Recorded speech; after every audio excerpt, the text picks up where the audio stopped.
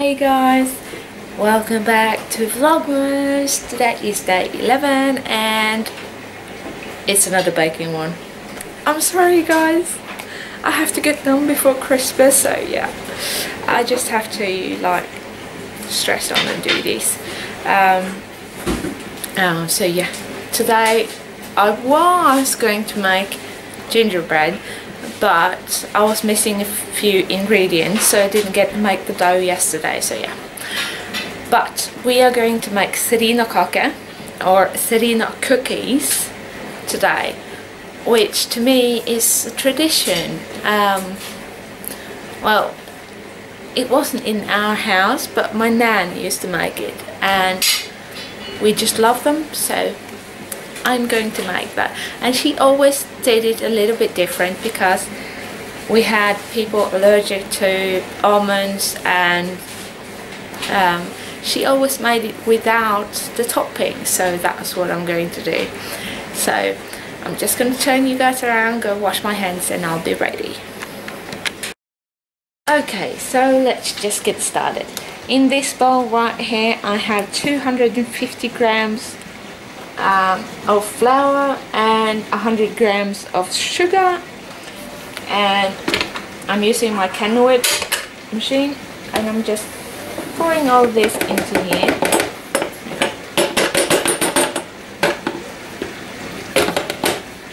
And on this plate I have 150 grams of butter. And it would be smart to take the butter out a good amount of time before you start making this because you're not going to melt it you're going to crumble it into your dough. So yeah. Here I have two teaspoons of vanilla sugar and two teaspoons of what's it called? Baking powder? Baking soda? I think you guys call it baking soda. So dumping that into here as well.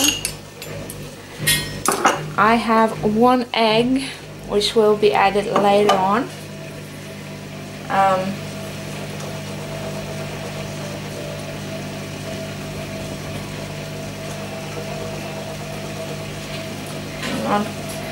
you'd think I actually think this recipe will be easier for me in a different bowl and doing it with my hands so give me a sec. I'm just going to change out everything here. Okay so I put everything into a different bowl because it's going to be easier because this recipe when thinking about it after reading through it I remembered it was 10 times easier making it with my hands. So now I have all the dry ingredients in my bowl. I have flour, sugar, um, vanilla sugar and baking soda or baking powder in this bowl. And now I'm just going to start adding the butter. I'm just taking a little bit at a time just to make it easier on myself. And what I do I always coat the sugar with flour because then it won't stick so much to my hand and yes my hands are clean it's just easier to make this recipe like this.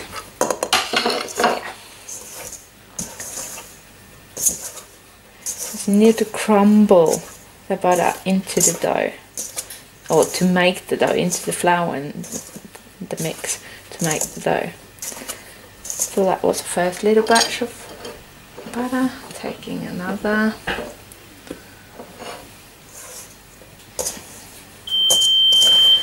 and that was my oven. These are done on 200 degrees Celsius in the middle of the oven for about 10 minutes. They get a little bit golden in color but they are not supposed to be dark at all.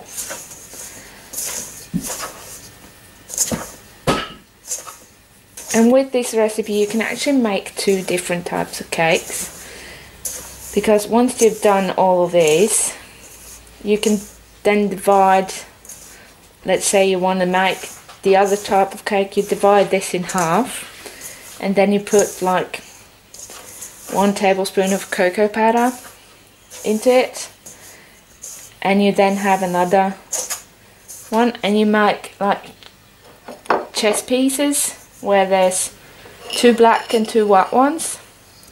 So yeah or two cocoa ones and two white ones. Oh this butter doesn't want to come into my bowl. There we go. But I kind of like this one better. I'm not so fond of the other one so yeah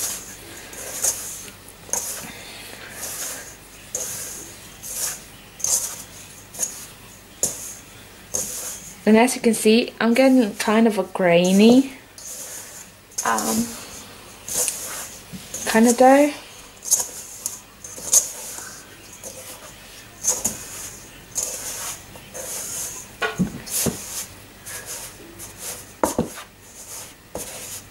I like using my fist in the bottom as well even though I do get a lot of dough on my hands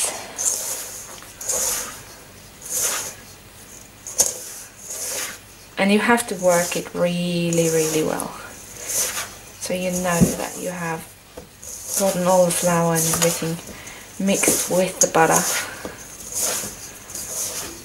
And if you are squeamish you could always use gloves. But I have training as a chef as well as a waitress so? I'm not squeamish. I wanted to become an um, pastry chef, is that what you call it? No. One of those that decorate cakes and such. That was my dream as a kid. So yeah. So now you can see my dough is all grainy. See that? And this is actually perfect. So now we're just going to remove this all from my hands. Gonna take a fork this and now I'm just gonna whisk this egg a little bit. Or beat the egg a little bit.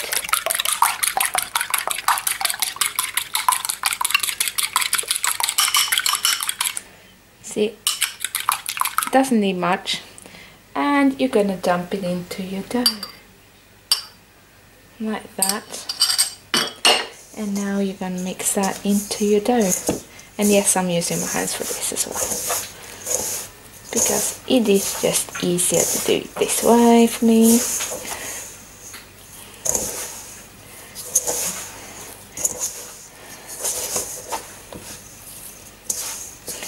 And now you'll see it starts to kind of gather into a proper dough because of the fluids in the egg.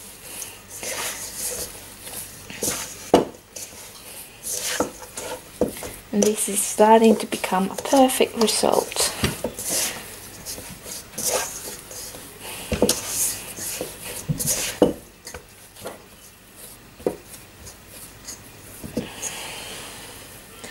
Just gonna have to pick some dough off my hands.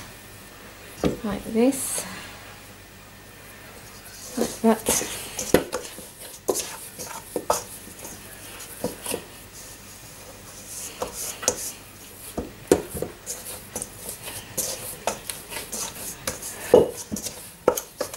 And now you can see we have a little dough in here. So now I'm going to go wash off my hands and then I'll finish up. So I have now moved on to the kitchen table because it has bigger space and I have my dough right here and I have a knife and a fork. So let's just get to it and make these cakes.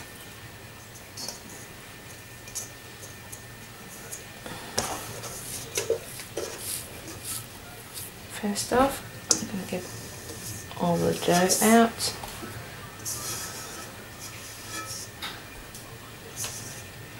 Like this. And I'm actually going to knead the dough a little bit more on here.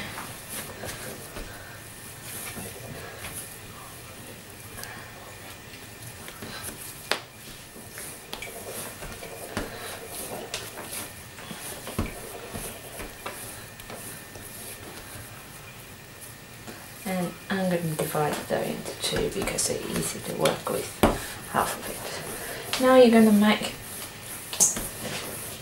a big sausage like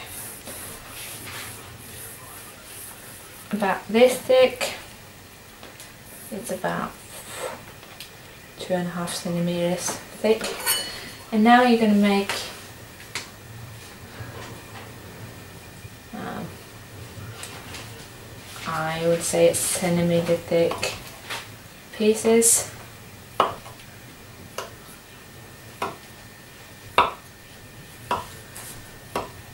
Maybe a little bit over centimeter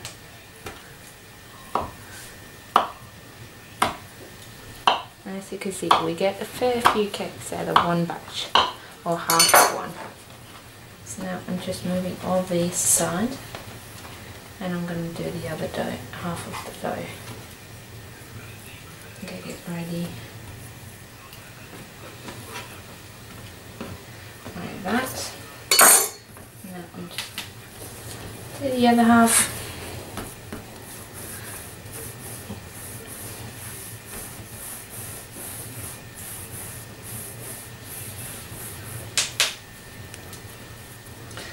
that. And now same procedure as last year, Miss Sophie. Same procedure as every year, James. I see the thinner part, I'm cutting it a little bit thicker. Like that. Now what you do is to make a little bowl. Like this.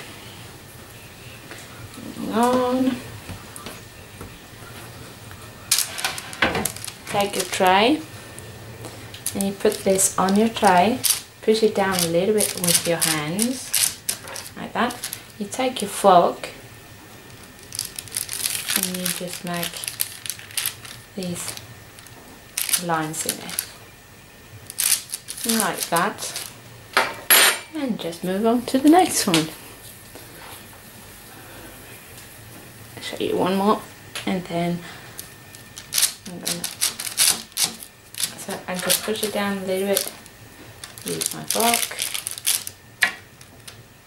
like this, and that's the cake's done. Now you just have to fry them in the oven and I will put pictures on my blog of the finished product. So, same procedure as last year, or yesterday. So, one sec.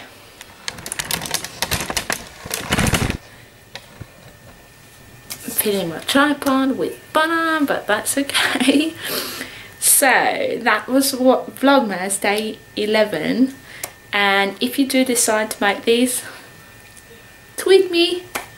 I'm at Niemor and let me know that you made them. Let me know what you think of them. You can also comment on my video and tell me if you posted a picture somewhere or just tell me if you like them. If you don't want to post a picture just let me know. So I love you guys so much. Bye. See you tomorrow